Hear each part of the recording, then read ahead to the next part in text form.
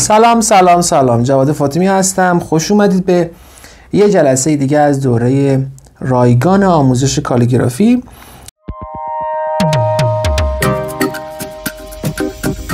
تو این جلسه می‌خوایم حرف ر و ز و ژ رو با هم کار کنیم ببینیم چه فرم‌هایی می‌تونیم براشون خلق کنیم. قبل از اینکه بریم وارد این آموزش بشیم طبق معمول خیلی خوشحال میشم که اون دکمه subscribe پایین کانال بزنید و اون زنگوله کنارش هم بزنید. آموزش هایی که داخل کانال قرار می‌گیره سری متوجه بشید و بیاید آموزش رو ببینید و تمرین کنید و از آموزش ها عقب نیافتید. تا الان الف به دندانه جیم و دال رو با هم کار کردیم. می‌خوایم حالا ر رو با هم کار کنیم. یه مقداری از جلسات قبلی هم استفاده خواهیم کرد و ببینیم که ر رو با این سبکی ما می‌خوایم با شما کار کنیم. به چه شکلی می‌تونیم بنویسیم؟ خب حروف مختلفی که هست باز یک اشاره خیلی سریع و بدون جزئیات و دقت نویسی اینها صرفا فقط این که این فضا چجوریه. بحث خب ری نستعلیق به این شکل شکل شمایلشه. و حالا این مدل هایی که با قولی شمشیری و مرقی و مدل مختلفی که تو نستعلیق می‌تونید ببینید. خب این فضا باز میگم برای کار ما زیاد مناسب نیست. خب ره هایی که داریم مثلا معلا خب چیزی که ما کار می‌کنیم و تخصصی کار می‌کنیم این مدل مثلا ره رو داره. باز میگم من با جزئیات نمی با دقت نمی میگم این مثلا معلای عالی چون خیلی ضعف داره. من فضاشو می‌خوام ببینید. این مدل ره هست. همین فضا یه مدل ری هست که برمیگرده ها؟ و یه مدل ری گرده بحث خط سفیر رو این فضاها اگه بخوام بگیم خط سفیر خب باز چنین فضایی مثلا داره ره هایی که می‌خوام بنویسیم. جلسه قبل دقت کشید دالش این انحنا داشت.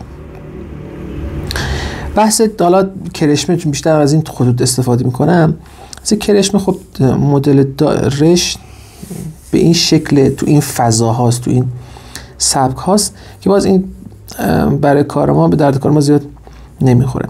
می‌خوایم از این مدل این مدل و ترکیبش با خط سولس و ارزم که خط محقق تو این سبک استفاده کنید اگر خط ارزم که نسق رو هم دیده باشید.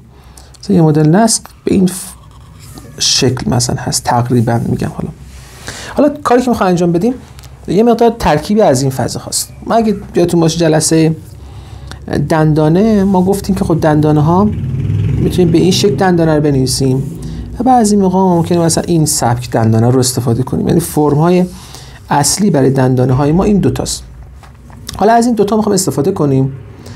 یه چیز دیگه بگم یه مدل دیگه ری هست توی معلا و سولز حالا از اون بیشتر می‌خوام استفاده کنیم از اون هم می‌خوایم استفاده کنیم تصمیم می‌کنم. این مدل بحث دندانه که ما داریم بیشتر از این فضا می‌خوایم استفاده کنیم.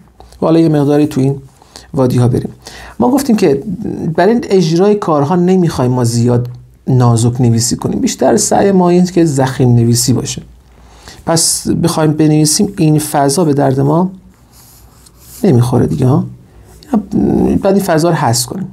خب کاری که می‌خوایم ما برای ر انجام بدیم سبکایی که هست. خب یه مدل همین دندانه رو انجام بدید. خب درسته؟ بعد بیاید از این زیر بیاید دور بهش بدید انتهاش رو جمع کنید به این شکل ها. یه مقدار شاید شروع کار دا سخت باشه. جلسه قبلا بهتون گفته بودم بحث انسی و وحشی رو بحث خود قلم. اینجا نوک قلم حالا شما بگید نوک قلم پایین قلم. اینجا وقتی اجرا می‌کنیم پایین قلم برداشته میشه بقیش با نوک قلم یه پرتابی انجام می‌دید. یه بار بنویسم. این شکل می‌تونید انجام بدیم شاید کمتر استفاده کنیم چون این فضای زیرش نازک میشه. بسته فضا جایی شاید مجبور بشیم از این استفاده کنیم. خب. مدل دیگه که می‌تونیم استفاده کنیم باز همین دندانه است. اینجا صاف میاییم و بیایم بالا. ها؟ یا صاف بیایم و بیایم بالا. در اصل بعد این مثل همون ری معلا اینطوری مثلا بشه برای ما. ولی باز هم این فضای پایین شاید دلچسب کار ما نباشه. ولی خب می‌تونید این مقدار مدیریت کنید این فضا فضای بهتری بشه. نگاه کنید. خیلی اینجا نکنید خیلی زخیم شد دیگه مقدار نازکیش کمتر شد. این فضا هم برای ری می‌تونید استفاده کنید. خود همین ها می‌تونید از این دندان اول هم استفاده کنید. یعنی بیایم تو این فضا ره رو بنویسیم یا بیایم تو این فضا ره رو بنویسیم که شاید این زیاد دلچسب نباشه این مدل ولی خب همه اینا بسته فضاست بسته به جایی که می‌خوام استفاده کنیم یه ترکیب می‌خوام بنویسیم. بعضی موقع میگیم که این که اصلا قشنگ نیست این که فلال نیست ولی همین توی ترکیب خیلی از حروف دیگه زیباتر. همین خاطر سبکا و مخت...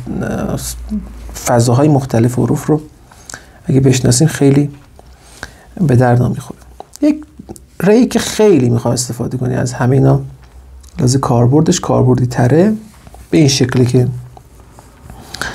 از اینجا یادتون باشه جلسات ب ما گفتیم ب رو اینطوری هم مثلا میشه بنویسیم. یادتون باشه درسته؟ نقطه ب. همین فضا رو بیام یه مقدار تابش رو بیشتر کنیم از اینجا بکشیم پایین. آه نکنید؟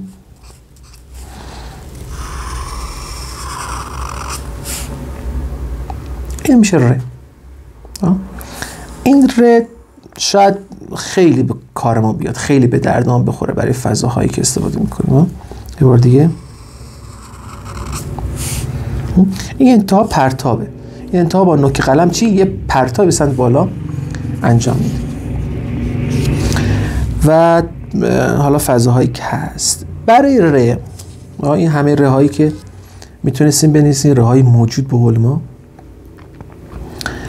یه چیزی من الان یادم یه هایی نکنید خط کوفی هم هست. حالا انواع خطای مختلف زیادی هست که حتی من اشاره نکردم بهشون. شاید بعد بعضی سوال پیش بیاد خط کوفی رو میشه استفاده که خط کوفی فضاش داره فرق می‌کنه. اگه بخوام ترکیب کنیم خیلی شاید به این فضاهای ما نه ولی بعضی موقع شاید تو حروف بعدی بتونیم ازش استفاده کنیم.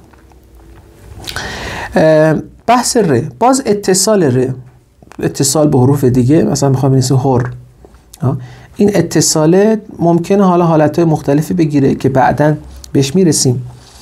ولی همین اتصال هم می‌تونه همین ها استفاده یعنی بدون اینکه یه مدل دیگه ای از اتصال استفاده کنیم. یعنی بیایم حرف رو به اینجا متصل کنیم حرف رو به اینجا متصل کنیم. ها مثلا اینجا حرف رو به اینجا متصل کنیم به اینجا متصل کنیم. درسته؟ این یکی برای اتصال جالب نیست. یعنی که نه که جالب نیست بس اینکه اتصال رو جدا بنویسیم. یعنی مثلا یه حرفی بیاد به اینجا متصل بشه. نه. ادغام میشه. اگه اینو مثلا بخوام بنویسیم بحث بیشتر ادغام شدن در این حرفه. مثلا نگاه کنید. خواهم بنویسیم هور حالا میگم باز اینا رو تو جلسات بعدی اگه انشالله عمری باشه و استقبالم باشه براتون ضبط می‌کنم. حالا خب مثلا گفتیم توی ه اینطوری. به این شکل می‌تونیم بنویسیم. هور رو ها؟ اتصال داره. می‌تونیم اینو بیایم بالا. این ره رو اینطوری بنویسیم. نکنه؟ یعنی اتصالش جدا باشه هر حرف جدا. این حرف ادغام شده. یا مثلا می‌تونید همین حرف رو از اینجا بیاید به سمت بالا برید. ادغام در این میشه.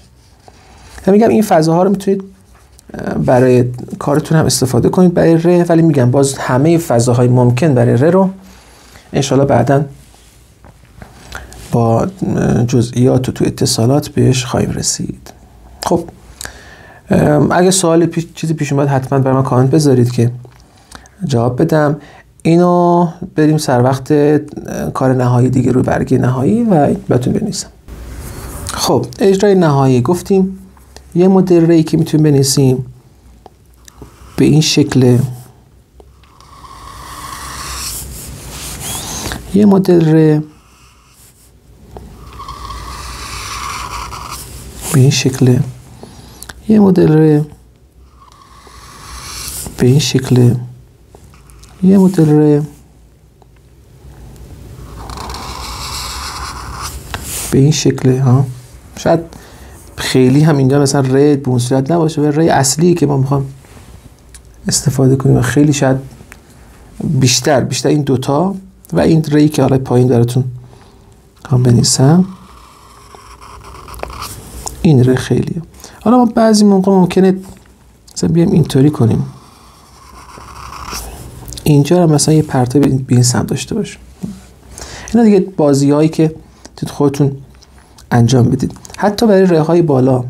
بکنید بیاد این فضا رو بهش بدید.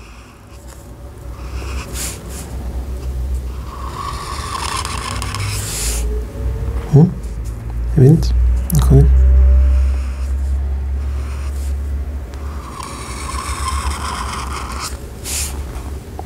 این فضا فضای قشنگیه. و به عنوان نکته آخر که خیلی به نظرم حیاتی می‌تونه باشه. حرکت اول رتون خیلی زیاد نشه. من نمی‌خوام باز خیلی وسواس به خرج بدید. این مثلا چند عرض قلم اینقدر اصلا ملاک نیست اینا. ولی یک تفاوت یک معیاری برای خودتون داشته باشید که اینا خیلی بزرگ نشه. مثلا ما تو معلم مثلا میگیم چهار عرض قلم ارتفاع این مدل سب کن. حالا اینجا اصلا اون ملاک مثلا اون نیست. اون اصلا جداست کلا. ولی برای اینا یک متری قائل بشید. نه خیلی بزرگ بشه که این قسمت اولش بر این قسمت دومش غالب بشه. نه خیلی کوچیک باشه که اصلا به قول ما ورسر نیاد مشخص نباشه. نه حتما خودتون در نظر بگیرید. دمتون گرم دمتون گرم. دمتون گرم که تا اینجا ویدیو من همراه بودید. حتما تمرین کنید. اگه بتونید تمریناتون رو برای من ارسال کنید که منم تمریناتون رو ببینم. دم شما گرم. تا ویدیوی بعدی. خدا نگهدار.